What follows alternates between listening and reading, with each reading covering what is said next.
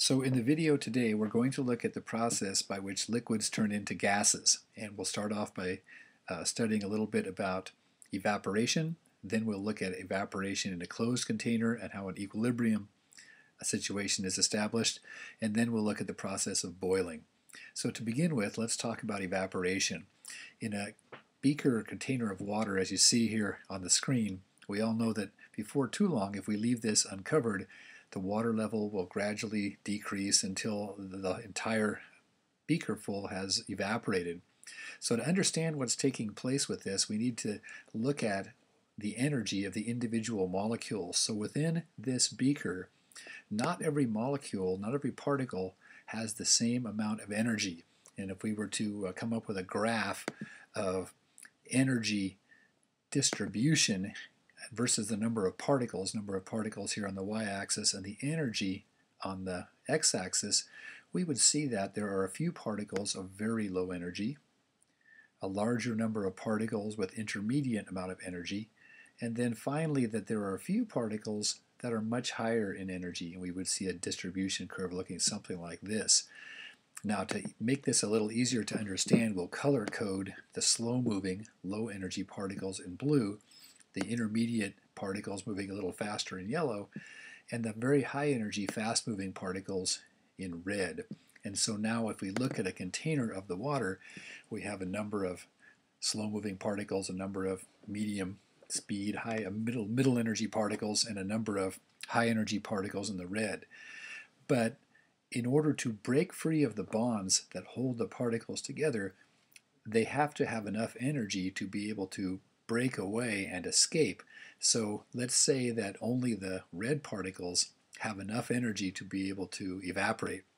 So in order for evaporation to occur, these high energy particles, these red particles, have to reach the surface where they're not surrounded and kept in by other water molecules, and then have enough energy to be able to escape.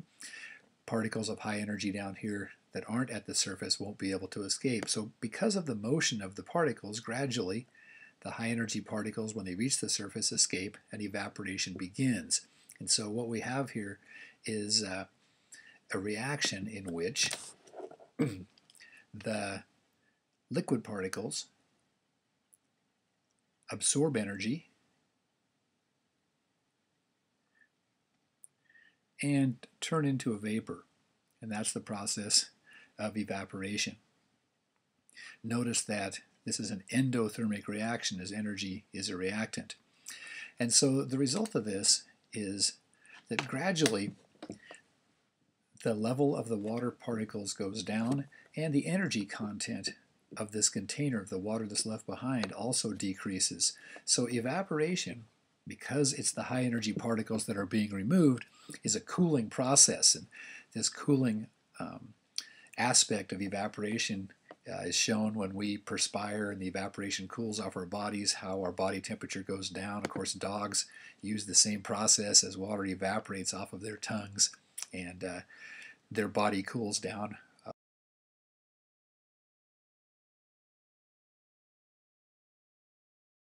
Happens when evaporation occurs within a closed container. So in this simulation, we'll start by adding a liquid to the container And you can see that when the um, liquid is first put in the container that there's a, a, lot of the liquid particles that escape and uh, become the vapor particles. And as we just learned those are the high energy particles. But now it's impossible for them to escape because the container is closed. We've got a closed system. And so if you track any individual particles, you will see that at times they will bounce off of the walls, exerting a pressure on the container, bounce off of each other in completely elastic collisions, and occasionally bounce back into the surface of the liquid and be uh, trapped back into the liquid phase. And of course, that process is called condensation. And if we leave the conditions the same, temperature, pressure in a closed system, then we end up with a dynamic equilibrium.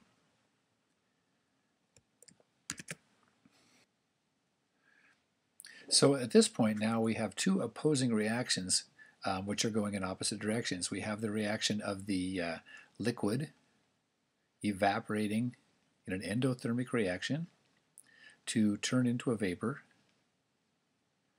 And at the same time, we have the reverse reaction occurring where the vapor is turning back into a liquid and releasing energy. At the beginning, when we first uh, put the liquid in, since all of the particles were liquid, the rate of evaporation was fast, and of course, as more and more particles evaporated and less liquid was available, the rate of evaporation slowed down.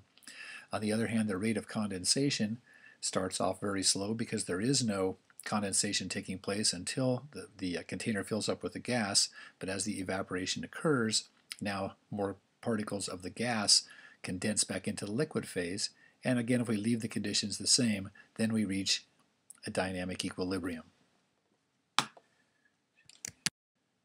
So if we look back at our system at dynamic equilibrium, we can see that there are particles that exist um, as vapor and there are particles that exist as a liquid. And some particles are entering the liquid phase, of course that's condensation. Other particles are entering the vapor phase and that's evaporation. Now you can see that the particles that are evaporating are exerting a pressure on the walls of their container. Now if we change the intermolecular force. In other words, if we have a liquid whose particles are held together tighter, you can see that we also will establish an equilibrium, but now there are fewer particles in the vapor phase and more particles in the liquid phase. Because of this, this liquid is exerting a, a smaller pressure than the particles uh, of the liquid whose bonds were weaker and more particles existed as a vapor. You can also see that the amount of pressure depends on the temperature. So if we heat this up, more particles evaporate, and again the pressure increases. So this characteristic pressure of a liquid that's at an equilibrium with its uh, vapor, the pressure exerted by the vapor in equilibrium with its liquid is called the equilibrium vapor pressure. This concept of equilibrium vapor pressure has a lot to do with the uh, what happens during boiling. So looking back now, if we have a closed container like this, um, shown on the left, where it's filled with a liquid with strong intermolecular forces, maybe something like water, which has hydrogen bonding, you can see that there are few particles existing as a vapor, many particles as existing as a liquid, and the pressure exerted by that vapor is uh, low. On the other hand, if we have a liquid with weak intermolecular forces, maybe acetone as an example, now the uh, fewer particles exist as a liquid, more particles exist in the vapor phase at equilibrium, and because of this, it exerts a much higher pressure. Okay. So now let's look what takes place when in the process of boiling.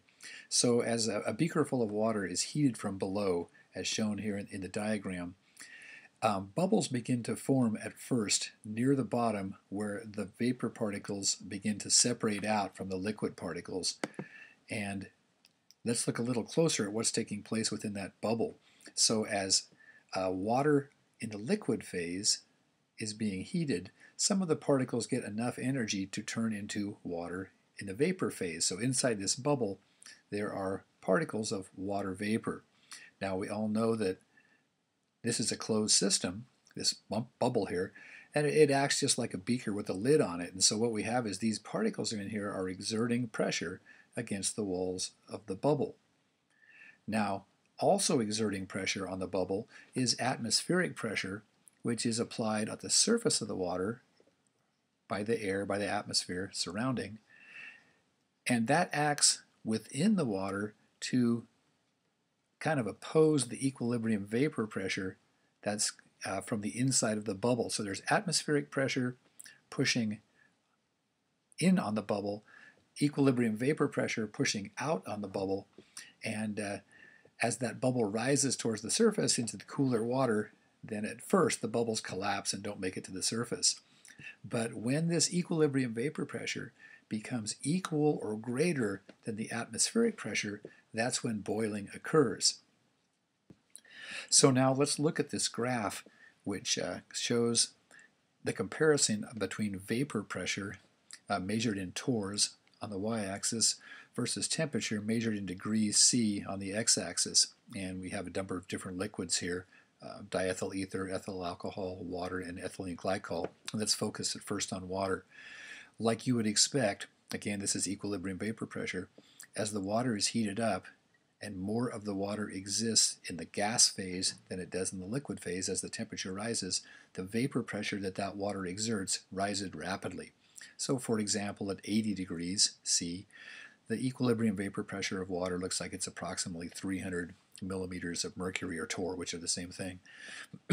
okay, remember the concept that boiling occurs when the vapor pressure of the liquid is equal to the atmospheric pressure on the outside. Now at sea level, standard atmospheric pressure has a value of 760 millimeters of mercury right on this line. And so you can see that the temperature at which the vapor pressure of water equals the atmospheric pressure at, at sea level, 760 millimeters, that's 100 degrees right here. And of course, that's the normal boiling temperature of water.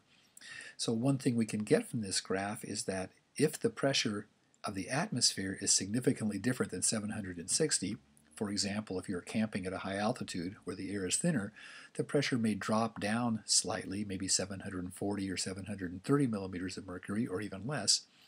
And you can see that the pressure uh, of the water now will equal that atmospheric pressure. Let's say this is our pressure right about here. You can see that now the temperature at which water will boil has dropped down from 100 significantly lower. And so consequently the boiling temperature of water is lower at high altitudes than it is at sea level. Now if we compare some other liquids to water, ethanol, ethyl alcohol, has weaker intermolecular forces than water does, so it evaporates more rapidly. It exerts more pressure at lower temperatures than water does. So for example, uh, the vapor pressure of alcohol at 78.3 degrees C is equal to standard atmospheric pressure. So the boiling point of alcohol is 78.3 degrees C when the outside pressure is 760 millimeters mercury. Diethyl ether, with even weaker forces holding the particles together, evaporates more rapidly and boils at a much cooler temperature, 34.6 degrees. Again, boiling takes place when the vapor pressure of the particular liquid is equal to the atmospheric pressure outside. And so, again, at standard atmospheric pressure, 760 millimeters at sea level, then these temperatures here are the boiling points of those liquids. Now, ethylene glycol has a much higher, uh, excuse me, much stronger intermolecular bonds and much uh, lower um, equilibrium vapor pressure. So you can see even at 100 degrees, it's not even beginning to get close to uh, the pressure that's required for in order for it to boil. Okay, so what we've learned about today have been three things. There's been evaporation, evaporation equilibrium, the condensation evaporation equilibrium, and then finally uh, what takes place during the process of boiling.